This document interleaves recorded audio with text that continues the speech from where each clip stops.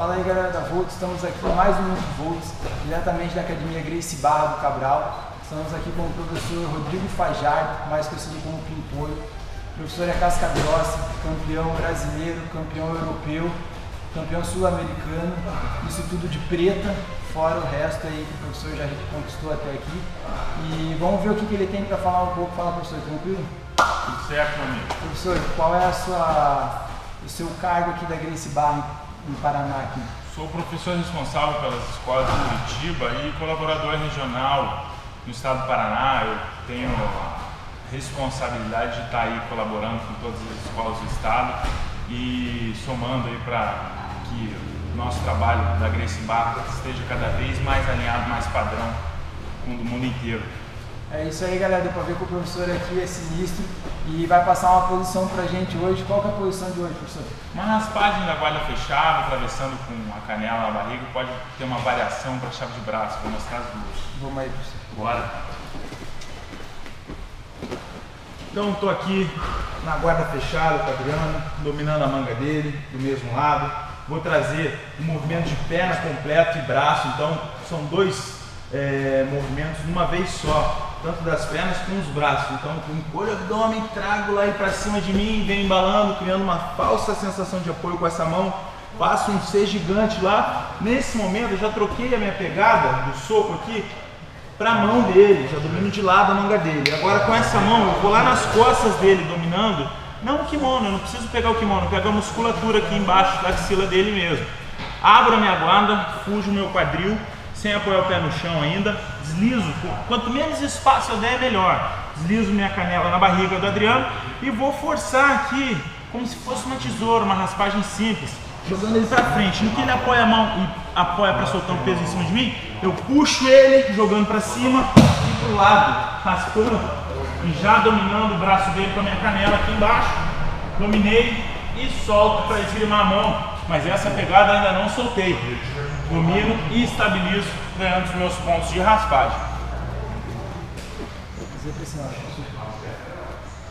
Caso o Adriano ofereça uma resistência nessa, nessa raspagem, eu vou trabalhar aqui uma chave de braço. Então, eu entrei a minha mão, mão fechada, trago com o abdômen, perna, tudo, crio a falsa sensação de apoio, troquei a pegada lateral do braço, dominei o braço dele, fujo o quadril, entrei o joelho na barriga, só que não dá para mover.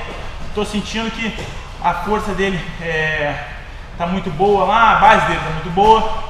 Vou fazer força desnecessária, então eu abandono a perna lá embaixo, substituo com ela aqui em cima. Uma vez substituindo, já não a necessidade desse braço, eu troco para o bíceps e começo a olhar para a perna dele. Soltei a mão da axila, meu pé vai deslizando na nuca dele e caio olhando para a axila com o ombro, outro ombro no chão. A mão da axila já veio para o bíceps. A mão da manga vai no punho e força o braço dele de lado, forçando aqui uma chave de braço lateralmente. Excelente. Obrigado, Adriano, pela oportunidade. Parabéns pelo seu trabalho. Valeu, muito obrigado, professor. Valeu, obrigado pela posição, por receber a gente aqui na academia. Quem quiser treinar mais aqui com o professor, conhecer mais é, da Grace Barra, onde pode encontrar o professor? Então, nós temos uma página no Facebook, Grace Barra Curitiba, também tem o site gracecuritiba.com.br, pode lá tem os contatos, telefone e tudo mais. É, a gente uma aula introdutória para conhecer nosso trabalho mais de perto. Essa escola aqui fica no Cabral, é, no, no bairro do Cabral, na Avenida Paraná, então gostado da técnica, espero vocês aí para conhecer o nosso trabalho mais de perto ainda.